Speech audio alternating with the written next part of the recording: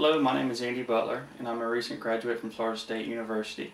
I graduated with a degree in Information Technologies.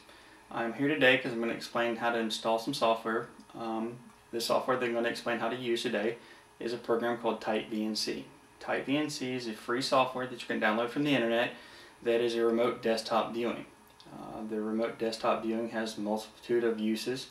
Um, you can use it such as I do um, in a network application, if a user outside of your office or whatever needs help on something, you can log into their computer, assist them in what they're needing to get done, and complete the task. Uh, another application for this is if you're like myself also that has family members that live a distance away and you can't be there in person to work on our computer, you could log in through the TightVNC and assist them in what they need to do. Um, a TightVNC is also a lot user more user friendly than a Windows application such as Remote Desktop that comes built into Windows. Um, it's not as nearly as difficult to operate. You don't need to know DOS or any other prompts to, to make it operate. Alright, what we need to do first is we need to navigate to www.tightVNC.com and when you get to their homepage it will look something similar to this. And what you'll need to do is on the top or the right hand column of their website, you'll see a link that says download. And what you'll need to do is click that link. And it will bring you to a screen that is similar to this. Now on your lower left hand side here you'll see platforms. For this demonstration I am using a Windows platform. I'm using this because this is majority of users out there and it will be the most friendly thing to use. What you'll look for is the TightVNC setup exec and you click that link. If you're using Internet Explorer or some other web browser, it may ask you to um, allow active controls to be used on your computer, which is highlighted by the yellow bar at the top of the screen. What you'll need to do is click on that bar and select allow download.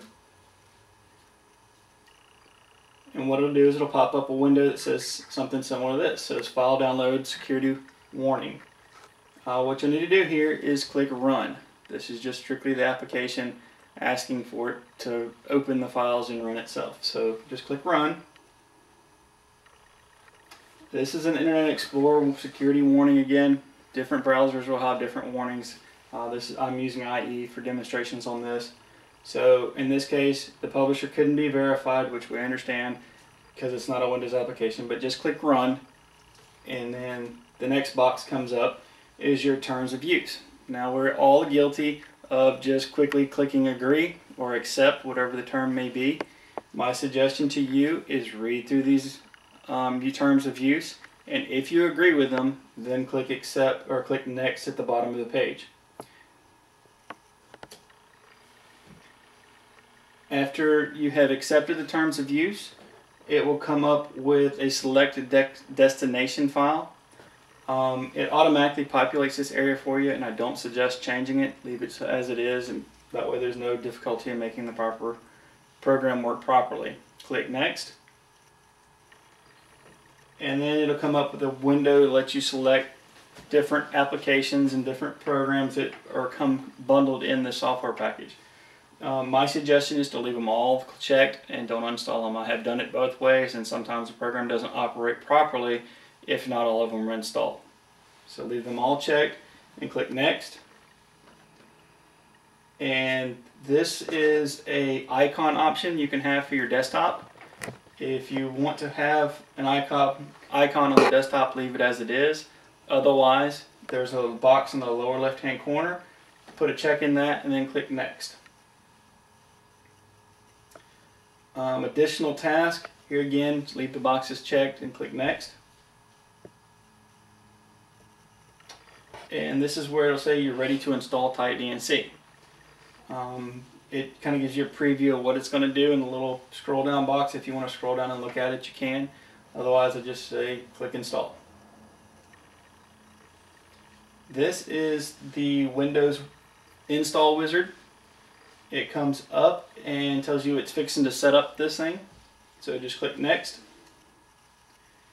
And after all the files have been downloaded and installed, it will ask you if you want to restart your computer. Click finish. After the computer has rebooted or restarted, you'll need to actually open the TightVNC server. And you do that by going to the start icon, clicking start, and then to all programs, and then to TightVNC. And under the TightVNC folder, they'll say launch TightVNC server. Click that icon. This will do a couple things. First off, it will put a small icon in the tray menu in the lower right hand corner, which is a little box with a V in it. And it will also pop up this window here.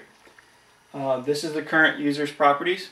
What you need to do on this window is it has primary password and view only password. You need to set those passwords to whatever you choose for them to be. They can be anything, but just make it something that you can remember. It doesn't have to be the same thing as the user on the other end. It just has to be um, a password that you can remember. Uh, set the passwords and then hit OK. Once you have set your passwords and your server's running, what you need to do is you need to launch the viewer application. They're going to go to Start, to All Programs, to TightVNC, and then inside that folder to TightVNC Viewer. And you click that um, folder and it will open the application.